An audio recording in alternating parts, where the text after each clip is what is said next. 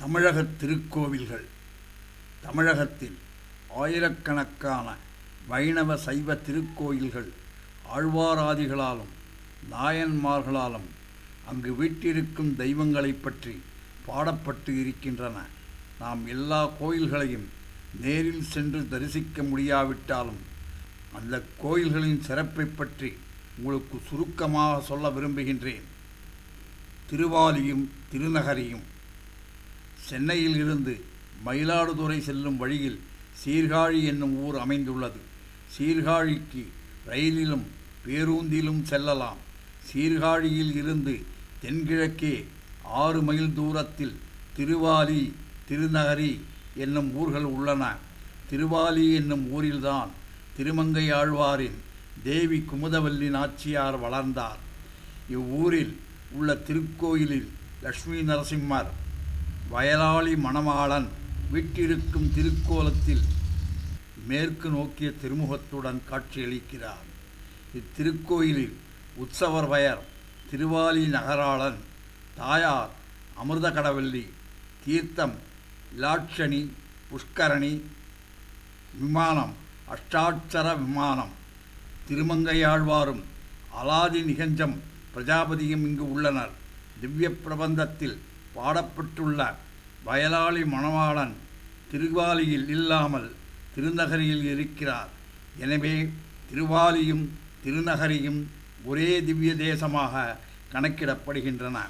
திருவாலி என்னும் ஊரிலிருந்து சுமார் மூன்று மைல் தூரத்தில் திருநகரி உள்ளது. திருநகரியில் உள்ள திருக்கோயிலின் மூலவர் வேதராஜன் வயலாளி மணவாளன் வீட்டிருக்கும் திருக்கோலத்துடன் மேற்கு நோக்கிய திருமுகத்துடன் இருக்கிறார். உற்சவரை அரங்கநாதன் என்றும் தாயாரை அமிர்தவல்லி என்றும் அழைப்பார்கள்.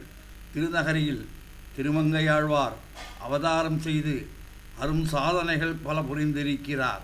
அவர் ஆராதித்த ஐந்து நரசிம்ம மூர்த்திகளில் இரண்டு மூர்த்திகள் இங்கே உள்ளனர். திருக்கோயிலுக்குள்ளேயே திருமங்கையாழ்வாருக்கு தனிச்சன்னதி உள்ளது. அந்த சன்னதியில் ஆழ்வார் வேடன் உருவத்தில் காட்சி தருகிறார். ஆழ்வாரின் அருகில் அவர் வாழ்ந்த நாட்களில் பூஜை செய்து வழிபட்டு வந்த சிந்தனை கிளியான் என்ற சின்னஞ்சிறிய உற்சவ மூர்த்தியின் விக்கிரகம் அமைந்துள்ளது. திருநகரியில் இருந்து அரை மைல் தூரத்தில் உள்ள வேதராஜபுரம் என்னும் இடத்தில்தான் திருமங்கையாழ்வார் பெருமாளை வழிப்பறி செய்தார். அகில உலகத்தையுமே ஆட்டி வைக்கும் வேடதாரி இறைவன் தன்னிடமே வழிப்பறி செய்த ஆழ்வாரின் மேல் பெருமாளுக்கு சிறிதளவும் கோபமே வரவில்லை. அவன் அறியாமையை நினைத்து சிரித்தார். வேடனாக வாழ்ந்து கொண்டு திருட்டு வழிப்பறியை தனது வாடிக்கை தொழிலாக கொண்டு வாழ்ந்து வந்த திருமங்கையை அவன் மனம் திருந்தி அகில உலகமே பாராட்டும் அளவுக்கு அவனை உயர்த்த வேண்டும் என்று எண்ணம் கொண்டார். அவனுக்கு திருமந்திர உபதேசத்தை செய்து மன்னரும் மக்களும் போற்றும் மாபெரும் கவி சக்கரவர்த்தியாக உருவாக்கினார்.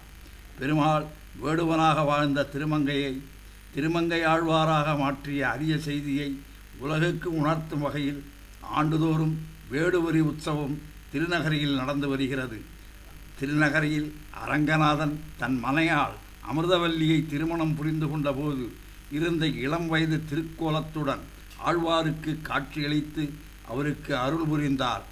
இவ்வூரில் திருக்கல்யாண திருக்கோலத்தில் பெருமாள் காட்சியளித்ததால் கல்யாண ரங்கநாதர் என்றே மக்களால் அழைக்கப்படுகிறார்.